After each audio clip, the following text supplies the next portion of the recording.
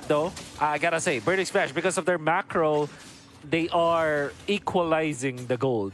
Mm-hmm, mm-hmm. It seems like the fights are going for the Fireflux esport, but the macro game is on the side on Burn X Flash, and the uh, yeah. Bruno is so big factor. He have already almost 5k gold, which is like 1,000 more from the enemy gold laner, and now you really want to use it like you want to use it. You want to create the uh, tower falls and the map control and i like the mana boot as well on the uh, bruno actually.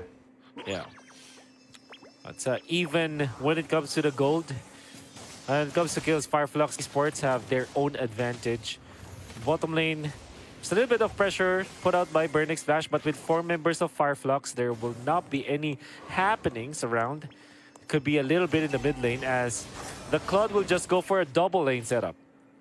Yeah, he, catch, he, he need to recover his farm uh, like yeah. a lot because and the top lane is being pushed by the Arlott. Minions are already dying under the turret and Claude uh, taking like super safe rotation, but oh. my own Fury with the flicker gonna focus down oh this Bruno goodness. and the Vexana's ultimate actually hitting two people. The mini Lord is spawned, getting aggroed by the X.Borg and just retreated. Yeah. Turtle fight still ensues for Fireflux. I'm your ATM onto the back lines. No more Minoan Fury, but they did take out Owl. And Alien is uh, taking a lot of damage. Fighter Slash not gonna connect onto anyone. They're actually chunking down this Fredrinn low, but the Fredrinn still gets it. Rindo takes the turtle and then runs Ooh. away to safety. Um, nice Fireflux Esports. Like yeah, all the team just well his ultimate.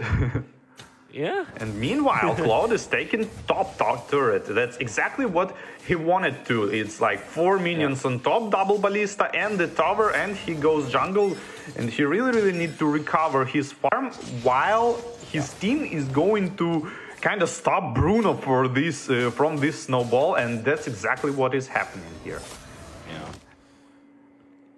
A little bit of uh, an exchange there from both teams. And if we're looking at the gold laners, Sunshine is catching up a little bit, but he still is a thousand gold behind the Bruno. Be a little bit of a pause for now, and um, I, I, do like uh, I like what I'm seeing from both teams. In fact, because you're seeing Fireflux play well when it comes to their initiations, their micro gameplay, but when it comes to the overall macro, the objective, the taking potential, definitely gonna be siding towards um, Burn X Flash. So that's a that's the difference in playstyle between the two teams that we have right now, or Barbie. Yeah, and it's that's kind of unexpected to see because uh, Fireflux has the Claude, which has the upper hand in terms of uh, rotation, like and uh, maneuvering around the map and farming. And he's the one who should like kind of split push, like we saw on the top lane. But uh, he needed to do it kind of a little bit earlier, so he wouldn't have this kind of uh, gold disadvantage uh, from the Bruno. But on the other hand, they have the X.Borg, which farmed al already like two items and uh, his uh, thing now he and, like underestimated uh, burn underestimated X.Borg on the bot lane tried to kill him and he like he wanted to like retreat using his incentive but he's like wow i'm actually doing damage so he's like returned and uh, exploded yeah. on two people and eventually yeah. Uh, they are dead so X.Borg here is going to be a factor because like third item yeah. he might go for either immortality of the or, or and the, the, timing is just all so crucial and that's what you have to watch out for in this matchup we are, are going to be returning into the game slowly and surely we're gonna find out what is the what are the next steps for both teams. Seems like uh, the power of this uh, Vexana is that you can poke, but when it comes to commit, in comes TNZ. He takes a one. Actually, Rosa to get the last hit, but that means that they will of be able to damage. get one hero. That's a lot of damage indeed. Yeah, Ruby can tank. And slowly it seems like, oh, Nas Phantom Slash they're gonna proc down Firaga armor and uh, try to actually hit him after the roll, but uh, he used the flicker Yeah. to uh, safety. Yeah. That is uh, Immortality, if I'm not mistaken, from Alien. 1 0 4. And um, you have to really look out for these final slashes. So far, I'm your ATM has been uh, uh, a little bit 50 50 when it comes to connecting, but when he hits, it's uh, always very impactful. Yeah, and it seems like uh, one and a half or two more minutes, and Burn are gonna have a lot of problems because Nana gonna burst them down. Three melee heroes can be countered by the Manon's Rage and the X.Borg. So I don't know, looks kind of bad for me for Burn. We'll see. Apex 47 now gonna land the three-man Minoan Fury, and in comes the damage from Alien. They're not committing the ultimate just yet. But that is gonna be one out. I'm your ATM is out. Tienzi wants to go for Indo. But that means that Burning Slash will just retreat the healing as well as the initiations coming up from Apex 47 becoming on point. Lord Dan still ensues. And Fireflux may have controlled this first Lord. That's very nice from Tienzi to not go for the Rindo here, to trying to finish him off, just uh, like we discussed the rhythm control. Just went for the safe lord and now attack on Ruby. Gonna dodge the I'm offended with the second skill as well and uh, with a mortal coil and just go for the jungle kill and set up the lord pressure. Yeah. Well done from Fireflux Esports. Burn X Flash yet to get a kill. And we did say that there will be a little bit of a problem for Burn X Flash to find the kills because of the sustain of Fireflux. Maybe when Owl is online, that's when they can find their openings. For now, Burn X Flash, all they can do is to defend. Yeah, and they are doing it quite well, using Vexana's ultimate though on the mid lane, but still securing the defense. The Arlott on top is being bursted down by the Martis and the uh, blazing duet of Claude, and the bottom lane tower as well. Lord is working on the minions, trying to going for. I mean, he obviously gonna go for the tier three turret after that, but will his team follow him? I'll find out. This is a push. The Lord is still available. Owl is there. In comes the hook, but that's Apex 47 A tanky Minotaur. Oh, last insanity from Alien. Just Nah, that's kind of kind of late because I mean you should use it a little bit earlier to not let Yeah. uh, burn death the lord and potentially go for the turret. But now you have the second wave of mega means, but the Fireflux actually decided to kind of retreat, even though they have Manon raids, they have flicker on the Minotaur. In my opinion, they should try to went for mid and for bot again, but wherever they decided to go uh, safely and farm a little bit, uh, that's understandable. I, I wouldn't say that's a mistake because they have such a great advantage in terms of draft here, so they Yeah. don't need to uh, rush things. Yeah. Can just relax for now. Yeah, relax, relax. Relax. But um, now we're looking at um, eventually the damage item from Alien. I mean, Alien has been very active in this map, and we didn't even notice that he's actually well farmed now. He's 7.9k compared to 6.1k of I'm Your ATM. Just like that, you know, and you would look like it would look like Alien is just you know um, always getting taken out, or the Firaga armor always being popped by Burn X Flash. But because he's always in the fight, he's already up with three items, and that's very important for the Fireflux Esports. Yeah, I'm just now thinking for the Vexana pick, it's kind of. I don't know. They not doing much here. It seems like Yeah. the Lunox maybe wouldn't been better because they kind of need this uh, front lane damage to be able to compete in terms of this grinder. I'm offended. Oh. Plus the flicker and the Vexana follows with Oh my the, her goodness. own ultimate, but the counter attack by the Manon on range and the Mart is going rampage with his own ultimate and the Oh, the last flicker. insanity follows two people blazing to head on, on all of them and the four people are down and Fredrinn only one who left standing here uses his jump under the turret but turret's gonna fall probably by the back door here and the mid lane is gonna fall and it might be a Wow. GG here. It might be GG. Burning Splash. They don't have any heroes to defend this. Rosa even commits the flicker for this one. They're zoning out Rindo. The defense will not be Ooh. enough. Wow, Fireflux. When you said that they should, that they are acting more than they're thinking this time, I think they're thinking. A lot of gold advantage now for Fireflux in the early stages, and uh, I wish I knew the answer to that question. Is should they be playing this in a different pace? But unfortunately, Burn X Flash will have to suffer this.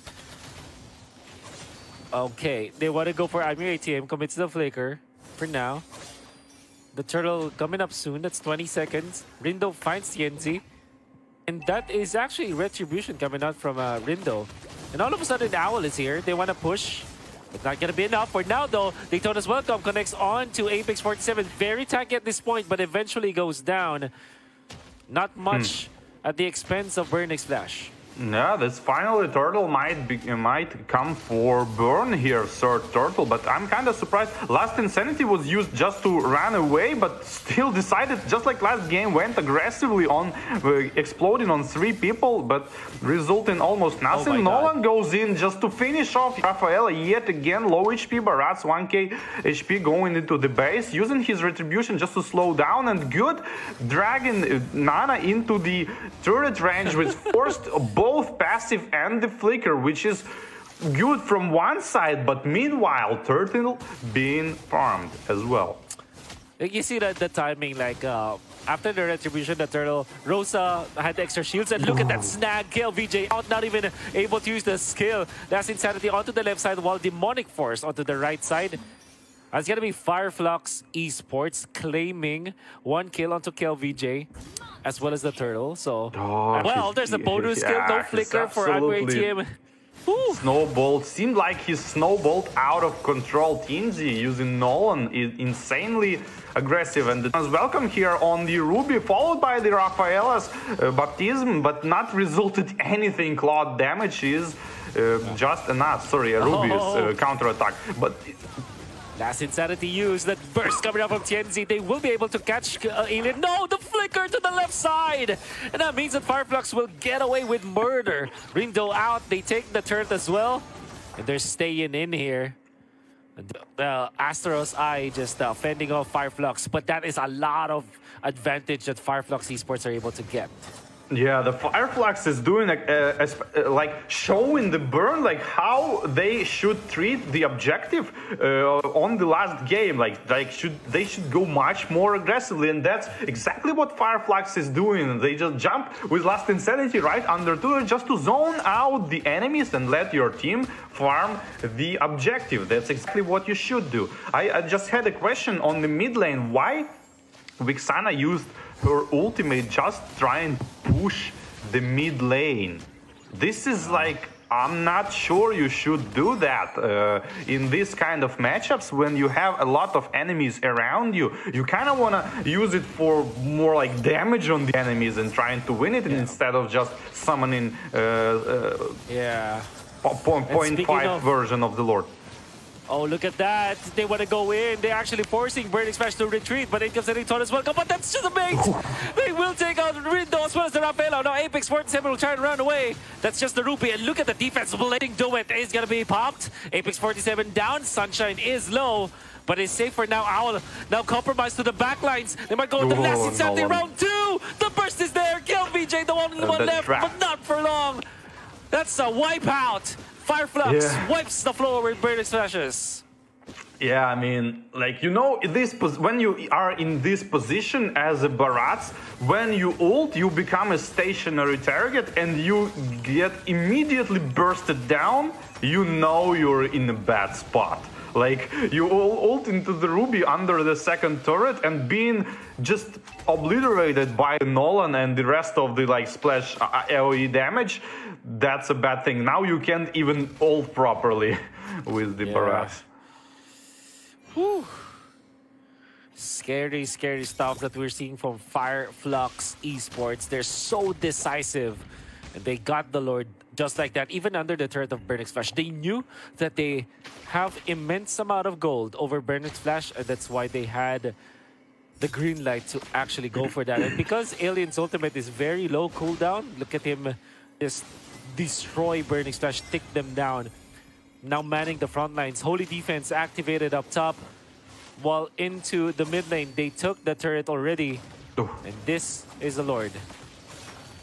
Going under third turret, working on last insanity. insanity proc, just like last time, just to zone out the enemy is absolutely the right thing to do in order to have more pressure on the objective. Bottom lane already fallen, which means Mega Minions going to go for the bot lane. Top lane being pressured as well, but not that much as a bot lane. And uh, seems like Fireflux gonna retreat and enjoy just enemy buffs here.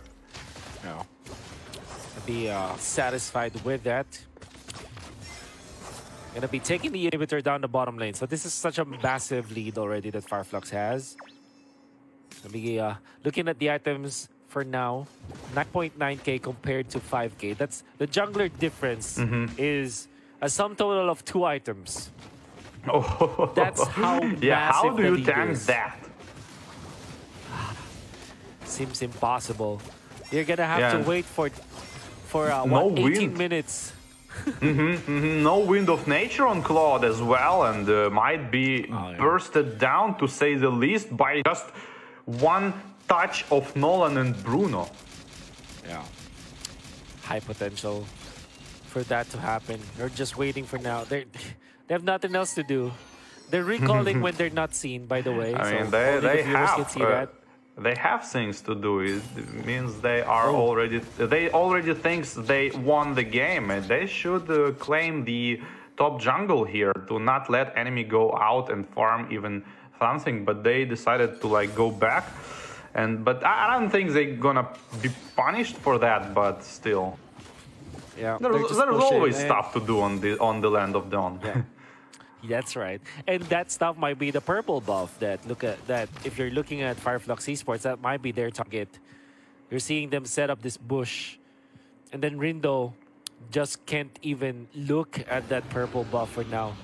Oh, he's gonna step in. This is crucial. But then Fireflux says, okay, we don't need that purple buff anymore. Let's just go for the Lord. Look at how quickly they're taking it as well. Yeah, yeah. So Nolan fast. is just spamming every every dam every bit of damage he has. Nolan, I mean, Lord gonna spawn in 20 seconds. That's Nolan probably gonna farm the jungle here and prepare uh, themselves for final attack here. Going for double minion, then go for purple and probably on the top lane where Fireflux already waiting here. Yeah. Slowly. A slow, steady push from Fireflux. Scary very, very scary. Up top, they're uh, pushing the top, the the lane. Bottom lane, there is the Lord that was you know, on his lonesome.